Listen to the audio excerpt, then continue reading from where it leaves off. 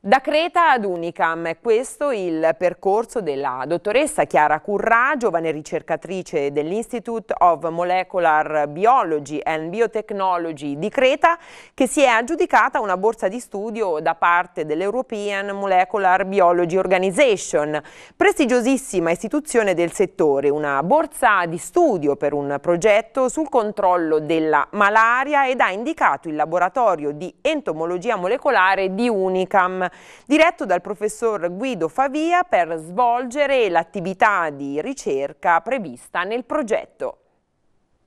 Il mio progetto di ricerca riguarda eh, lo studio delle zanzare infette, che tra l'altro ha vinto questa borsa EMBO, eh, per cui eh, ho la possibilità di, eh, di, lavorare qui a Camerino. Riguarda lo studio delle zanzare infette, sappiamo eh, appunto che le zanzare sono il vettore di trasmissione della malaria e negli ultimi anni ci siamo concentrati proprio sullo studio degli stadi specifici della zanzara in quanto vogliamo riuscire a bloccare eh, la crescita del parassita all'interno del, del, vettore in modo che non sia più in grado di trasmettere il parassita della malaria eh, agli esseri umani durante appunto, la, la puntura della, della zanzara. Il laboratorio diretto dal professor Guido Favia, è uno eh, dei laboratori più importanti e più famosi eh, dal punto di vista della ricerca in campo della, della malaria. E la struttura dell'insettario disponibile presso eh, questa università Unicam è,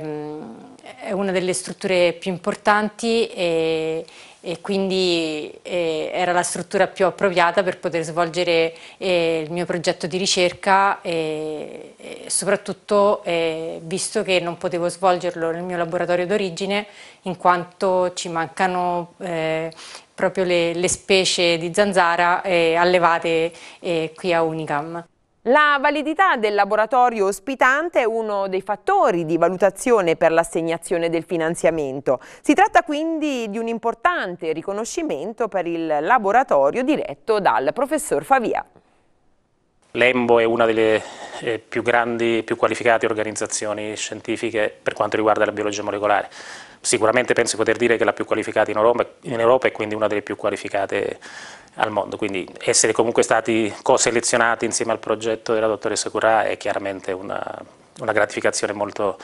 eh, molto importante per noi, ci lega a un laboratorio e un'istituzione che è quella dell'Istituto Molecular Biology and Biotechnology Creta, che è comunque un'altra istituzione estremamente qualificata